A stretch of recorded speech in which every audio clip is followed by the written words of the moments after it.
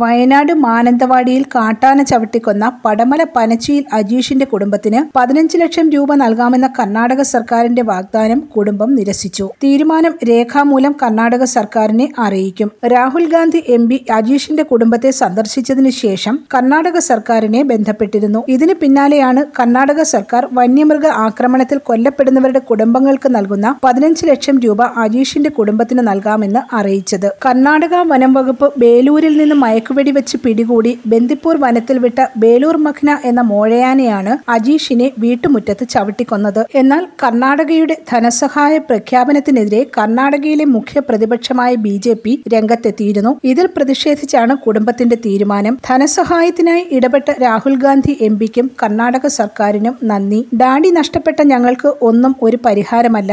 ഈ വേദനയ്ക്കിടയിൽ എല്ലാവരും ഒപ്പമുണ്ടാകുമെന്ന് കരുതി. പക്ഷേ കർണാടകയിലെ ബി ജെ പി ഇതിന്റെ പേരിൽ ചേരിതിരിവിന് ശ്രമിച്ചതറിഞ്ഞപ്പോൾ വല്ലാത്ത വേദന തോന്നി. ഇത് മനുഷ്യത്വരഹിതമായ നടപടിയായിപ്പോയി. ഈ സാഹചര്യത്തിൽ ഞങ്ങൾ ഈ പണം സ്നേഹപൂർവം നിരസിക്കുന്നു എന്നാണ് അജീഷിന്റെ കുടുംബം കത്തിലൂടെ അറിയിക്കുന്നത്. News desk press Malayalam. ഈ റിപ്പബ്ലിക് ദിനാഘോഷം മനോഹരമാക്കാം. രാജകുമാരി ഗോൾഡ് ആൻഡ് ഡയമണ്ട്സിന്റെ വമ്പൻ ഓഫറുകൾക്കൊപ്പം. ഇന്ത്യയുടെ എഴുപത്തഞ്ചാം റിപ്പബ്ലിക് ദിനം പ്രമാണിച്ച് എഴുപത്തഞ്ചിലധികം ഗോൾഡ് കോയിനുകൾ സൗജന്യമായി സ്വന്തമാക്കാൻ സുവർണാവസരം. കൂടാതെ സ്വർണം വാങ്ങുമ്പോൾ ഗ്രാമിന് എഴുപത്തഞ്ച് രൂപയുടെ കിഴിവും പഴയ സ്വർണം എക്സ്ചേഞ്ച് ചെയ്യാനുള്ള അവസരവും. രാജകുമാരിയുടെ ഫ്രീഡം സെയിലിന്റെ ഭാഗമായുള്ള ഈ ഓഫർ മാമാങ്കത്തിൽ പങ്കാളികളാവാൻ ജനുവരി ഇരുപത്തി ആറ് ഇരുപത്തിയേഴ് ഇരുപത്തെട്ട് തീയതികളിൽ ഞങ്ങളുടെ ഷോറൂമുകൾ സന്ദർശിക്കൂ. ഈ റിപ്പബ്ലിക് ദിനാഘോഷം രാജകുമാരി ഗോൾഡ് ആൻഡ് ഡയമണ്ട്സിനൊപ്പം ആവട്ടെ.